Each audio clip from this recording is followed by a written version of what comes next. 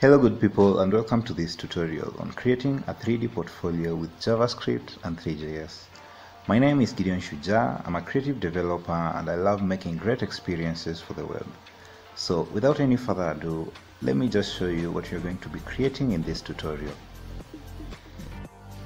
We're going to be creating a portfolio website with rotating cubes. So it's going to be simple with some animation on scroll just to spice things up. We're also not going to be starting from scratch, so in case you want the starter template, you can get it over at this URL. I'll be putting it in the description for just a dollar and a half. And this is just for the first 50 people who are going to purchase the template, so you can get it before the price goes up.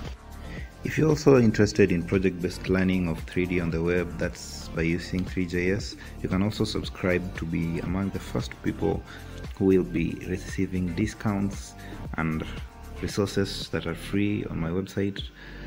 Up to 70% discount on those on the first course I'll be releasing. So you can consider signing up to be among those few. And so with that I guess we can just dive right in.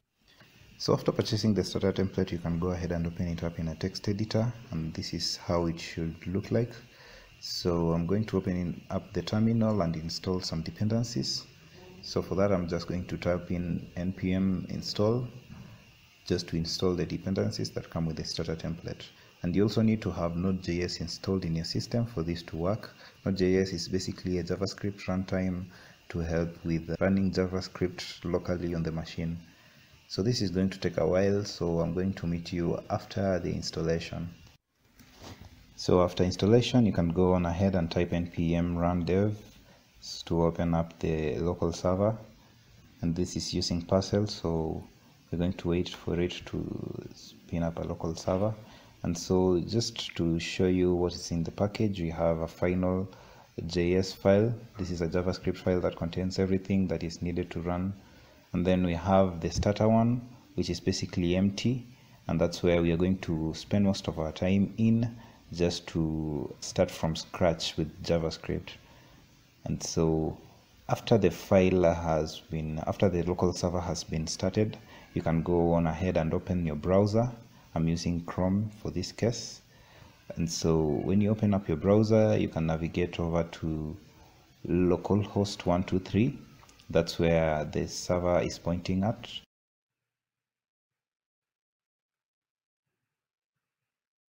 So go on ahead and open up the starter, the start.js and let's start coding. So we start off by importing everything as three.js from Three.js. Then afterwards we can now create a class. We are going to be using classes for this tutorial. So we just create a class and for every class we need a constructor so we call the constructor method then inside we're going to add some properties that you're going to need as we move on. And the first property is going to be called container. So we call the we create the container property and we just give it selector we assign it selector.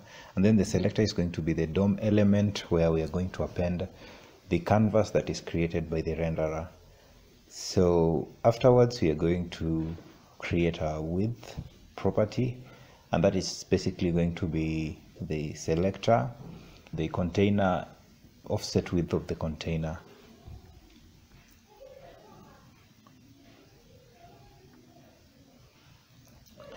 And then we can go ahead and do the same for the height. So the height is going to be the container offset height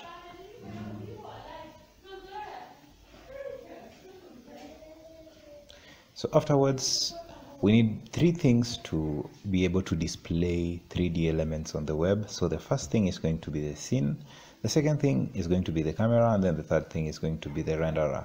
So what is a scene? A scene basically is where everything is rendered. And so to create a scene, we just call the a built-in method in Three.js called scene, and this is just going to create the scene for us.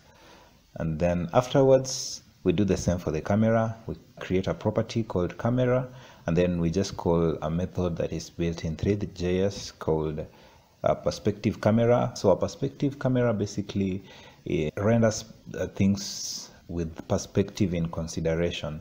So the first property that we are going to need inside is called the field of view, which we put in as 70. The next one is going to be the aspect ratio, which is basically the width of, of the container divided by the height. Then we have the near, which means everything that is closer below the near won't be rendered and everything that is further from the far clipping plane also won't be rendered. Then afterwards, we can create the same for the renderer and then we will call the built-in method which comes with Three.js and we're going to be using a WebGL renderer that is a built-in method inside Three.js. So this renderer is basically going to be what will render the final scene onto a canvas and then that canvas is what you're going to append onto the selector that we had constructed earlier. So after this, you're going to set some properties of the renderer and the first thing is size. We're going to size it according to the width and the height that we had created earlier. So we pass in the width and the height. Then afterwards after we have created the size we are going to set the property which is output encoding. And we're going to set it to sRGB encoding which is also a property of 3 comes with 3 so it's we are not going to say new 3 we are going just to call the 3 and we're going to put the sRGB encoding. And these properties that I'm putting on right now just help with um, making the scene look realistic. So the next one will be physically correct light and that will be set to true. And then after that we have to set the pixel ratio. So I'm going ahead to call the set pixel ratio of the renderer. And with that you're just going to put the pixel ratio of the device that is being used so that will be window.device pixel ratio. And then afterwards the next thing we need to do is we need to set the position of the camera. So we can do the this dot camera dot position and you can set. And we're just going to position the camera at position 0 0 that's on the x 0 on the y and 2 on the z axis. So we have three axes in 3d and that is x y and z. So we have basically positioned the camera inside the three axes in this scene. So the next thing we need to do now is append the DOM element that is created by the renderer onto the HTML and with that we just call this dot container that we had uh, constructed earlier that we had uh, constructed earlier and we append the child which is the this dot DOM renderer dot DOM element and then afterwards now we can create a render method for this class. And this render method is what is going to be used to render everything that uh, we create. And then we are going to call the request animation frame. And this is basically going to help the renderer to render 60 times every frame. Is it 60 times every frame? I'm not sure. I'm going to confirm that for you. And so yeah, the request animation frame is going to call the renderer and this will be in a continuous loop. And then afterwards now we are going to start adding objects onto um, the class. So we construct a method called add object. And this add object we are going first to construct a geometry. And so we need various things to construct a geometry.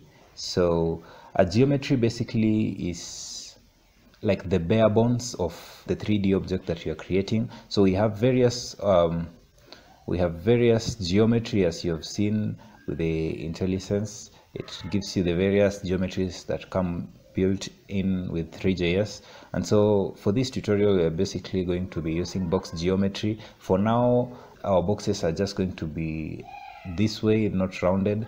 But in the next part, we are going to use rounded box so after the geometry we need a material and basically a material is like what wraps the geometry. The material is like the skin on top of the bones. We also have various materials as you can see here. We have different materials and they have different properties. So for this tutorial we'll just use mesh basic material and then later on i'll show you a different material maybe in the next part and so inside the material we can define various properties like the color of the material. And for now we're just going to put a gray color. Mm, then this is going to create a box that has a material with color gray. And then with that now we need to create a mesh. And now this is what wraps all these things together now to create a 3d object. And so we need to pass in the geometry and the material. So the first parameter will be the geometry and then the next parameter is going to be the material. So after we have created this 3d object now it's time to add it to our scene. So we're going to call the add method that is in the scene and we are going to add the box mesh that we created earlier. And so with that we can move on top and now we can call the various methods that we have created and that is the add object. So this dot add, add objects. And then after that we can now call the render method and that will start off the rendering loop. And then after that now we can initialize this class so that we can see some progress. So this the template will be a new template. And inside here we're going to pass document dot get element by id we are going to call an id that we had created in the html file. So the div that was to house the, elements was to be called container. And then i've spotted an error here. It's supposed to be this dot render dot render. And um, this is supposed to render the camera and the scene. So the first thing we pass in is the scene and then the next thing we pass in is the camera. So this will render the scene and it's going to use the camera to look into the scene and then with that we need to pass in into the WebGL renderer an object with alpha to true so that we don't see a black background. And so with that if you look at it you'll see that we have a gray cube. So if we fix some z fighting issues let's see z we can give this footer z index of 2 and uh, i guess now yeah you can see that the cube is behind now the the elements on the web and it's not spinning it doesn't have any life. So i guess the next thing is to give our cube some life so that we can see how it is rotating so that we can even realize that it's a cube. For now you can just think it's a rectangle. So we go into the render loop into the render method and we can call this dot box and now we can call a method a property of the box called rotation. And now the rotation has various axes. We have the x the y and the z axis for now we're just going to say the x-axis and for each frame we're going to add 0.01 and so if you reload you'll see that now the cube is spinning on the x-axis yeah so we can go ahead and maybe do the same for the y-axis so that will be this dot box dot rotation y and we can add the 0.01 on each frame. So it will be rotating on both x and y axis so if you take a look you'll see that the box now is rotating on both x and y axis and so yeah that adds to the realism. Now it's much more believable that it's a box rather than just a rectangle that is static on the site so i guess let's see. We can do this dot box dot position and place it slightly on the right side of the site.